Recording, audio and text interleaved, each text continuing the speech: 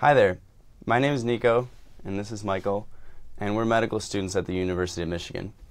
In this video, we're going to be discussing and demonstrating a pulmonary auscultation. So using a stethoscope like we did for the cardiac auscultation, we can listen to the anterior and posterior chest to get a pretty good idea of what's going on in the lung tissue. Unlike in a cardiac auscultation, uh, a normal pul pulmonary auscultation is going to be pretty uneventful. Healthy breathing should, should sound like a subtle whooshing sound going in and out as the patient breathes. Some abnormal findings that we might see are crackles, which is like uh, crinkling uh, Rice Krispies wrapper, uh, if there's fluid that pools in the lungs, or wheezing, like if the patient has asthma, if their airways are narrowed. Um, so we'll have uh, Mike here remove his shirt, and then we'll start the demonstration.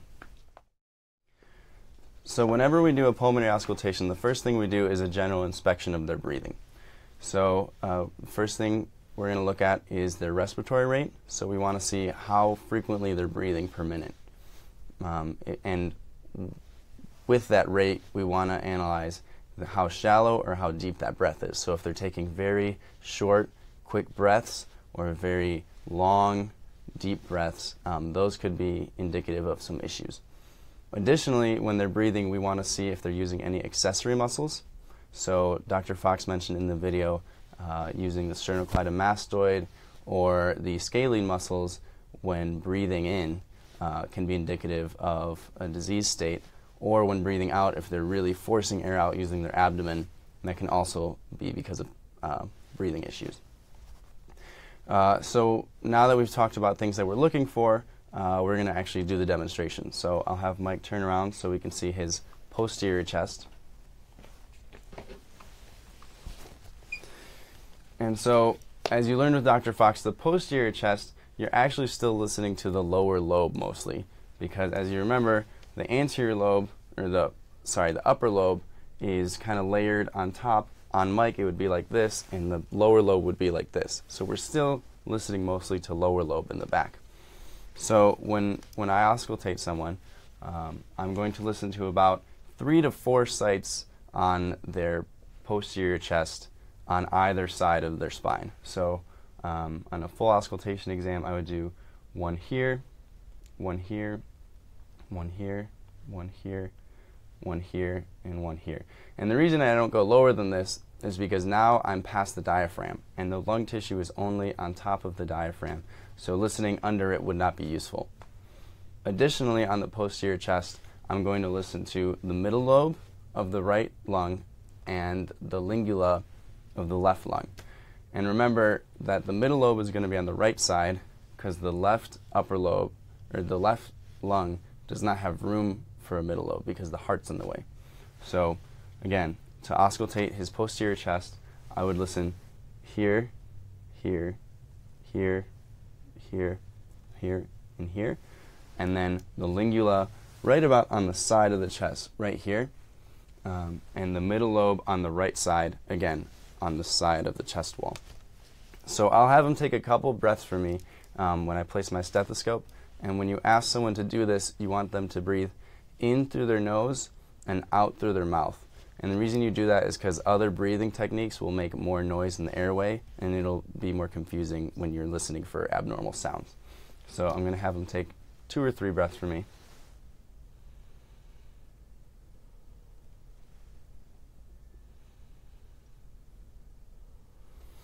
And notice how I'm trying to keep it at the same level on both sides and go across so I can compare it bilaterally. So I would do the same for the posterior for the rest of the chest then I would have him take one at the lingula. And then once again uh, on the middle lobe. Obviously, I would have the earpieces in my ears.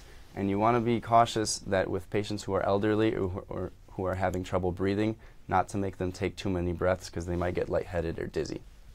Okay, and now if you want to turn around to your front side, now we're going to auscultate the anterior chest. And to do that, we're going to locate his clavicles and we're going to listen immediately superior to it and then inferior to it. And the reason we don't go any lower on the anterior chest is because at that point we start to hear heart sounds as well, and that makes the findings of the auscultation exam confusing. So I'll just one more time have them take a couple more breaths. And notice in through the nose, out through the mouth.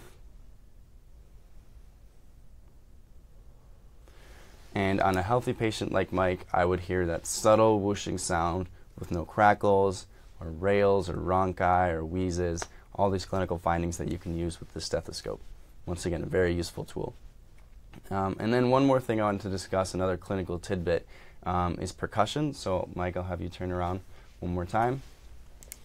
And so for this, you don't use your stethoscope, but instead you actually use your own hands. Um, and what you'll do is you'll place um, a finger firmly on the posterior chest. You don't do this on the anterior chest. And you'll tap your finger like that.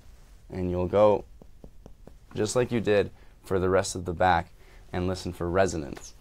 Um, in a healthy patient, it's going to be fairly resonant, and you, you get better at this with practice.